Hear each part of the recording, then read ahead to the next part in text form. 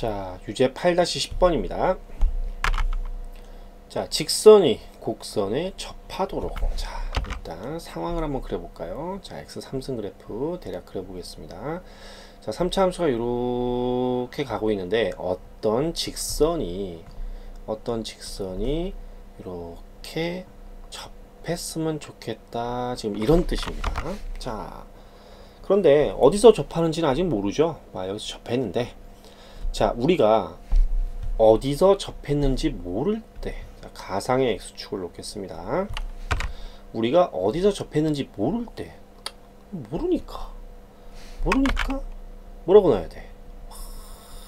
항상 강조하죠. 수학할 때 모르면 t라고만 놔도 실력 좋아진다. 자, t에서 만났다라는 거죠.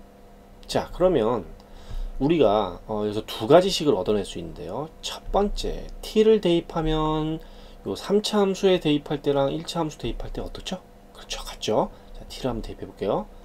t 3승이나 t를 여기다 대입하나 여기다 대입하나 같다는 얘기입니다. 그럼 at 마이너스 아, 첫 번째 식을 하겠죠.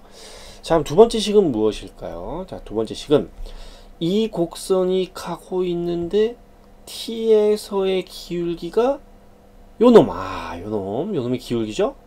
오케이. 그러면 y는 x 3승을 미분했더니 y 프라임은 3x 제곱이고 그럼 이때 기울기가 어떻게 표현됩니까? t일 때니까 t를 대입하니까 3t 제곱이었다는 얘기인데 그게 이 1차 함수니까 요 기울기가 a란 얘기죠. 그래서 는 a 자 이렇게 하면 두 개의 식이 만들어집니다.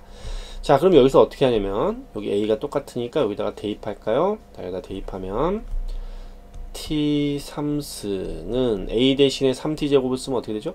3t 3승 되죠? 마이너스 2 음, 그래? 그러면 이거 넘어가니까 2는 2t 3승이 나와서 아 t 3승은 1이라는 결론을 얻습니다. 실근이 뭐죠? 그러면 t가 1이 되겠습니다.